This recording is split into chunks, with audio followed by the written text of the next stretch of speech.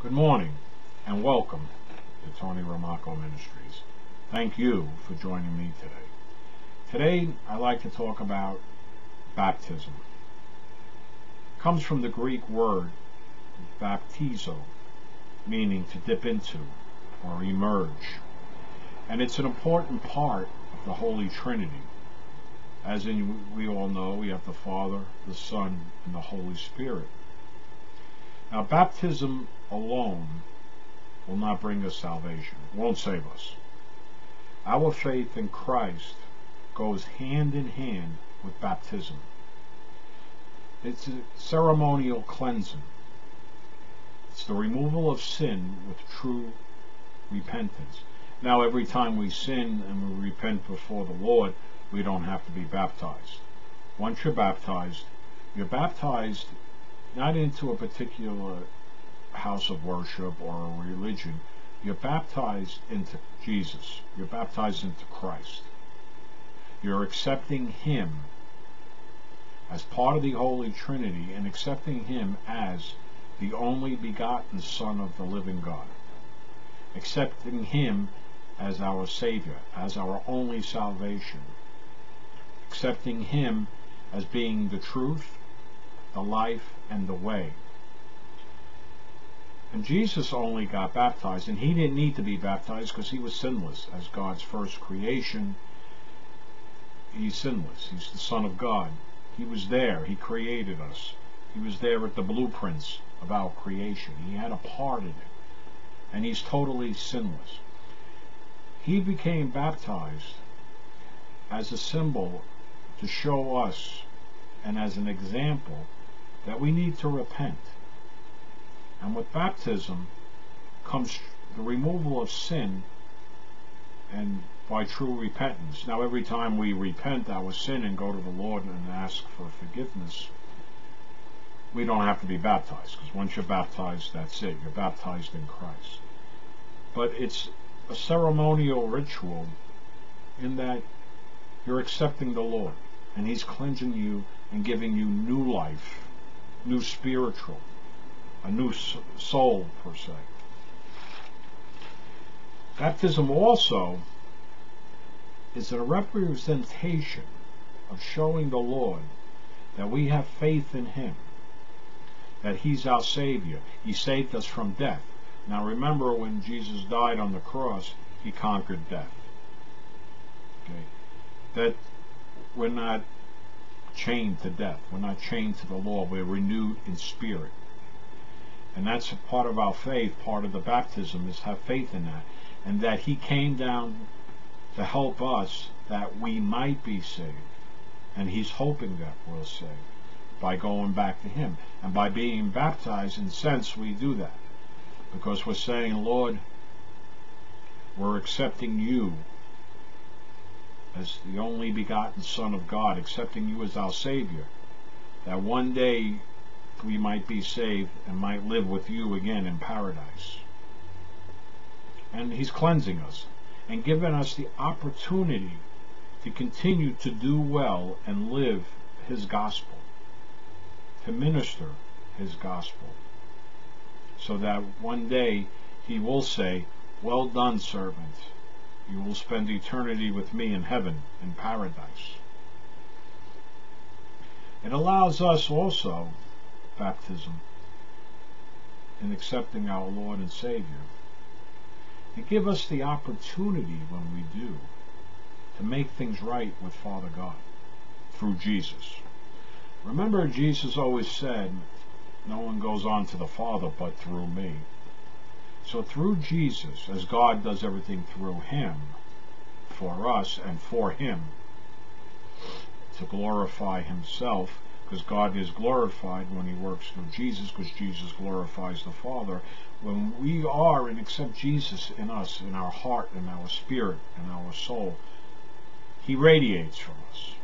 Gives us kind of a peace, uh, kind of a glow. Some people see that glow, some don't. Uh, like an aura or whatever. But that glow is not the aura per se. That glow is God. It's Jesus. That's the glow that people see, the peace, the contentment. and that tells people we're at peace. We've made it right with God. We need to make things right with God. Some people wait to the last minute while they're on their deathbed or laying in the street or uh, maybe shot or or killed, and all of a sudden at the last minute they're making their peace with God, and that's a beautiful thing. Because when you truly repent and make your peace with God before you go into heaven, even when you make your peace with God and you're not on your deathbed, the angels rejoice. It's a, a sinner totally repenting his sins, and that's what baptism is about. We're being baptized into Christ. We're accepting Him. He's our Lord. And it's also a guide to lead us from the Holy Spirit who helps lead us, along with God and Jesus, to live a better life.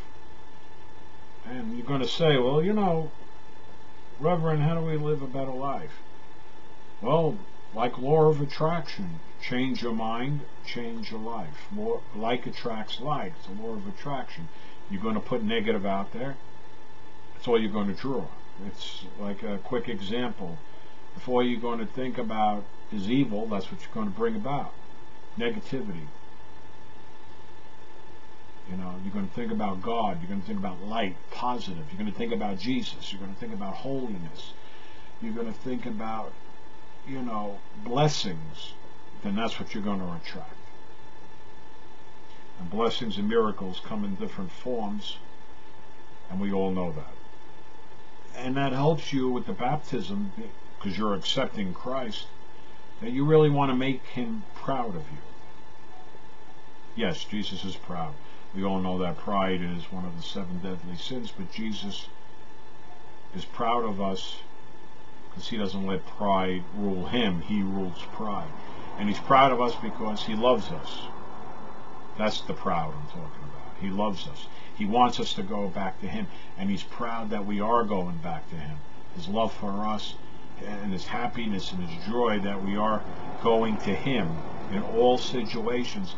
And no matter what, we're relying on him as our guide. We're relying on the Holy Spirit as he promised us when he ascended into heaven that he would send, ask the Father to send us another helper. That we would be guided.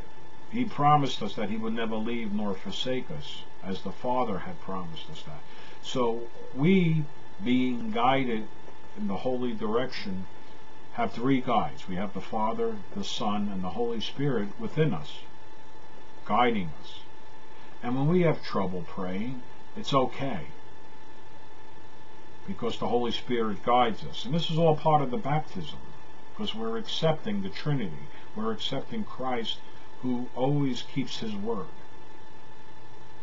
who never goes back on his word. And if he said, even 2,000 years ago, I'm going to ask the Father to send us a helper, he sent us the helper. The Holy Spirit lives within us. There's also baptism is important because it helps us follow Christ in that direction. Because it doesn't look good when we're baptized and we don't follow. him. It gives us a chance to follow. him. And for those that aren't baptized, it gives them the chance, the opportunity to follow Christ, to follow His lead, to live His gospel, to minister His gospel, to help others turn towards Him.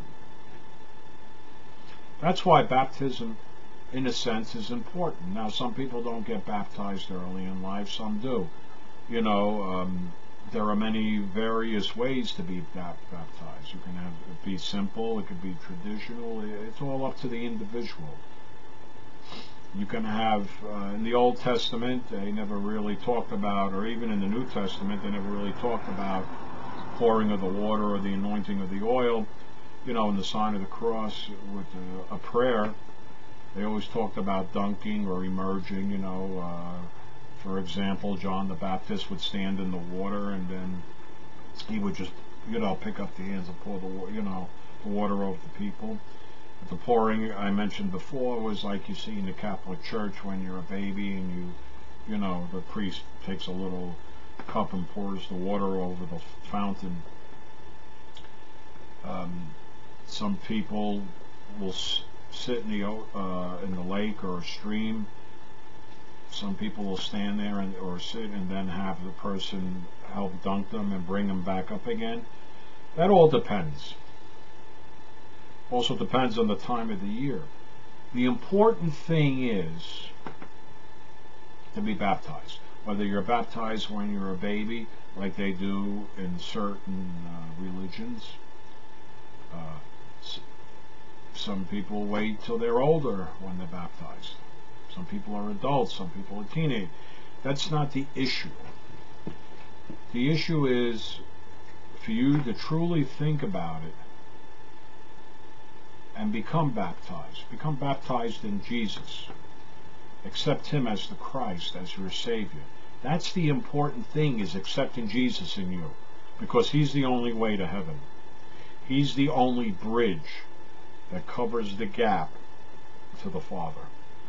Just like you need a bridge to cross over, you know, an ocean or um, an ocean, or excuse me, a lake or a body of water. You know, like the Verrazano Bridge, the Golden Gate Bridge, um, you know, the London Bridge. You need a bridge because of our sin, and we fall short of the glory of God to get to God. That bridge is Jesus. So think about it. Become baptized. No matter who you are, what age you are, whether you're three weeks old, a week old, a day old, hundred years old, become baptized in Christ. Start following Him. Let Him lead you. Let the Holy Ghost, the Holy Spirit, lead you on that right direction, on that narrow path through that narrow gate. Stay on that narrow path once you cross through that narrow gate. God will also send His angels to protect you and to guide you. Okay? The angels are there to guide us and to help us and to bring our message to God if we have a prayer and to bring God's message to us that He loves us and that He loves us by showing us that he, we have angels to protect us, to guide us, to help us. That's what they're there for. That's what the Holy Spirit's there for, to guide us, to help us. Baptism helps us to get closer to Jesus, to make things right with Him, and He will make things right for us with, with the Father. The Lord bless you and keep you. The Lord make his face shine upon you and be gracious to you. The Lord turn his face towards you, and give you peace. I'm Reverend Tony. Thank you for joining me today. And please, continue to walk in the presence of God. You'll be glad you did. We'll see you again next time. Have a blessed day.